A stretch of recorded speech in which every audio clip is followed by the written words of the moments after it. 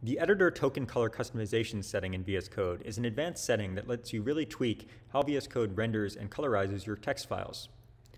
For example, you can use it to change the color of things like comments, strings, keywords, or you can even get as fine-grained as, say, changing the color of an individual element, such as a function keyword in JavaScript files. Here I'm just going to change the color of comments. So I'm going to start by, in this setting, I'm going to trigger IntelliSense, and you'll see all these options for various things that you can customize. This is showing that you can customize individual themes, but in this case, let's just override the color for all comments. So I'm going to say comments here, and then I can specify a new color in hexadecimal notation for comments.